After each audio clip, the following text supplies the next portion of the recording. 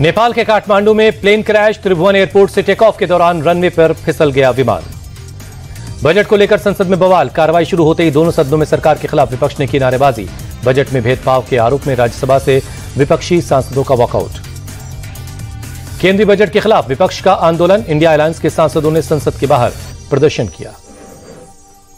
Protest में सोनिया गांधी, राहुल गांधी और अखिलेश यादव भी शामिल हुए। राहुल गांधी बोले, ये सरकार का कुर्सी बचाओ बजट। प्रदर्शन में शामिल अखिलेश यादव ने किसानों के लिए एमएसपी की मांग की। बोले, ये सरकार बचाओ बचाओ बजट है। बजट के दूसरे दिन भी शेयर बाज़ार में गिरावट का दौर। आज फिर लाल निशान पर खुला सेंसेक्स निफ्टी में भी शुरुआती कारोबार में दिखी गिरावट। बिहार विधानसभा में आरक्षण को लेकर हंगामा। वेल में आकर विपक्ष के विधायकों ने नारेबाजी की।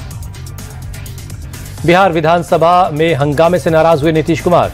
स्पीकर ने वेल में आकर विपक्ष के विधायकों के जगह पर बैठने को कहा। जम्मू कश्मीर में आतंकियों के खिलाफ बड़ा ऑपरेशन, कुपवाड़ा, पुंछ और राजौरी में सेना की बड़ी कार्रवाई। कुपवाड़ा एनकाउंटर पर आर्मी के चिनार कोर का ट्वीट, कुपवाड़ा के कोवत में एक आतंकी मारा गया मारा गया। सेना के एक जवान के शहीद होने की खबर। द्रास में करगिल युद्ध स्मारक पर तैयारियाँ तेज हुई। करगिल विजय दिवस की 25वीं सालगिरह के मौके पर 26 जुलाई को जाएँगे पीएम मोदी। गुजरात के नवसारी में लगातार बारिश के बाद बाढ़ जैसे हालात। बारिश के चलते नवसारी में बढ़ता नदियों का जलस्तर बना आसपास के इलाकों के लिए खतरा।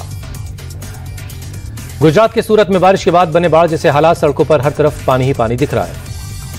गुजरात के द्वारका में गिरा एक तीन मंजिला मकान, हादसे में तीन लोगों की मौत, मौके पर पहुँची एनडीआरएफ की टीम ने रेस्क्यू ऑपरेशन किया। दिल्ली के कई इलाकों में तेज बारिश से बदला मौसम का मिजाज, अक्षरधाम इलाके में बारिश से ट्रैफ़िक बाधित हुआ। दिल्ली में तेज बारिश से थमी गाड़ियों की रफ्तार, कृषि भवन के करीब सड़क पर पानी भर गया। यूपी के नोएडा में कई हिस्सों में तेज बारिश, सड़कें दिखी खाली, धीमी हुई गाड़ियों की रफ्तार। मध्य प्रदेश के बैतूल में सरकारी स्कूलों की हालत बदतर, टपकती छत के नीचे पन्नी लगाकर पढ़ाते दिखे अध्यापक। हरिद्वार में तेज बहाव में बहे कांवड़िए, एसडीआरएफ ने रेस्क्यू कर सभी कांवड़ियों को सुरक्षित निकाल लिया। मध्य प्रदेश के गुना में गुस्साई भीड़ ने पुलिस प्रशासन पर पथराव कर दिया। प्रशासन ने ज़मीन पर कब्जा के आरोपियों की दुकानों पर चलाया बुलडोजर। फरीद फरीद खान नाम के एक शख्स पर सरकारी ज़मीन के साथ एक महिला की ज़मीन पर कब्जा करने का आरोप है। महिला के साथ मारपीट का वीडियो वायरल होने के बाद लोग वहाँ इकट्ठा हो गए थे। ब्रिटेन के विदेश सचिव डेविड लैमी पहुँचे दिल्ली। विदेश मंत्रालय ने ट्वीट कर स्वागत किया। लिखा, यात्रा से दोनों देशों की रणनीतिक साझेदारी और मज़बूत होगी। चेन्नई में जॉगिंग सत्र में शामिल हुए यूएई के अर्थव्यवस्था मंत्री अब्दुल्ला मरी। तमिलनाडु के स्वास्थ्य मंत्री सुब्रमण्यम ने भी हिस्सा लिया। चेन्नई में इन्वेस्टोपिया ग्लोबल टॉक्स में हिस्सा लेने आए हैं यूएई के प्रतिनिधि। गौतम अडानी ने भूटान के राजा जिग्मे से की मुलाकात। खावड़ा और मुंद्रा में नवीकरणीय ऊर्जा साइट की यात्रा के दौरान मुलाकात की। भूटान के पीएम दाशो भी मौजूद रहे। एपीजे अब्दुल कलाम की पुण्यतिथि को लेकर बीजेपी ने की तैयारी। अल्पसंख्यक मोर्चा शुरू करेगा देशव्यापी अभियान। आंध्र प्रदेश के तिरुमाला पहुँचे तेलंगाना और झारखंड के राज्यपाल सीपी राधाकृष्णन तिरुपति में भगवान के दर्शन किए। अमरनाथ तीर्थ यात्रियों का एक और जत्था हुआ रवाना। श्रीनगर के पंथा चौक से गुफा के लिए रवाना हुआ। यूट्यूबर एलविश यादव से लखनऊ में ईडी ऑफ़िस में पूछताछ, सांप तस्करी और रेव पार्टी से जुड़े मनी लॉन्ड्रिंग के मामले में पूछताछ हुई। दिल्ली के नरेला में फैक्ट्री में लगी भीषण आग, लपटों को काबू करने में लगे हैं दमकल विभाग के कर्मचारी। दिल्ली के लाडूसरा इलाके में फर्जी कॉल सेंटर का भंडाफोड़ हुआ। कॉल सेंटर से नौ महिलाओं समेत 20 लोग पकड़े गए। कॉल सेंटर के ज़रिए लोगों से लोन के बहाने जानकारी लेने, लेकर खाते से पैसे उड़ाने का काम होता था। पुलिस ने इनके पास से लैपटॉप, मोबाइल समेत कई फर्जी सिम बरामद किए।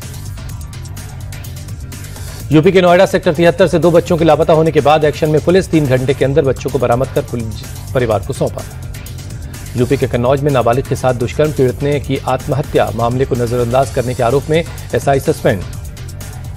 बिहार के दानापुर में सड़क हादसे में तीन लड़कों की मौत, दो घायल, ऑटो से टक्कर के बाद डिवाइडर से टकरा गई बाइक। इंदौर में सरकारी वर्दी पहनकर रौब झाड़ने वाला एक बर्खास्त इंस्पेक्टर गिरफ़्तार किया गया। कई साल पहले बर्खास्त हुआ था गणेश परमार। एमपी के भोपाल में संदिग्ध हालात में मिले दो शव, वोट क्लब एरिया तालाब में तैरते शवों से इलाके में मचा हड़कंप। जयपुर एयरपोर्ट पर एयरक्राफ्ट क्रैश का मॉक ड्रिल अभ्यास के दौरान डेढ़ मिनट में सभी इमरजेंसी यूनिट ने अपना अपना काम संभाल लिया। महाराष्ट्र के ठाणे में गिरा घर की छत का प्लास्टर, हादसे में दो लोग जख्मी हो गए।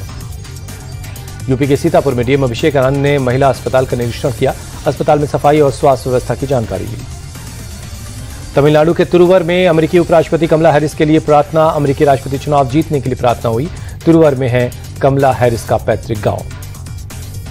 अमेरिकी राष्ट्रपति जो बाइडेन कल देश को करेंगे संबोधित, बाइडेन बताएँगे कि अब आगे क्या होगा, वो अमेरिकी लोगों के लिए कैसे काम करेंगे।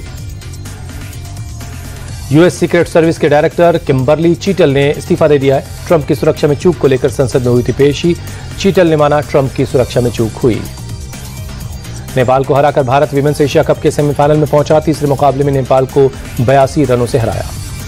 श्रीलंका के खिलाफ टी सीरीज़ से पहले भारतीय मेंस क्रिकेट टीम ने शुरू किया अभ्यास, कोच गौतम गंभीर भी मैदान पर नज़र आए। ढाई साल बाद दिनेश चांदीमल की श्रीलंका टीम में वापसी, लंका प्रीमियर लीग के में शानदार प्रदर्शन की वजह से मिली जगह एंजेलो मैथ्यूज टीम से बाहर हुए। श्रीलंका में हुई आईसीसी की एनुअल कॉन्फ्रेंस अगले साल पाकिस्तान में होने वाली चैंपियंस ट्रॉफी पर नहीं हुई बातचीत, भारतीय टीम ने पाकिस्तान जाने से इनकार कर दिया है। पाकिस्तान के पूर्व क्रिकेटर बासित अली का आईसीसी को लेकर बड़ा बयान बीसीसीआई की आलोचना करते हुए बोले चैंपियंस ट्रॉफी को लेकर जय शाह जो चाहेंगे, वही होगा।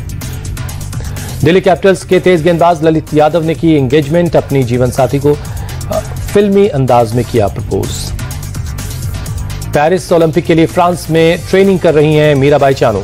खेल मंत्री मांडविया ने शेयर किया वीडियो सभी से चीयर फॉर भारत हैशटैग का इस्तेमाल करने का अनुरोध किया।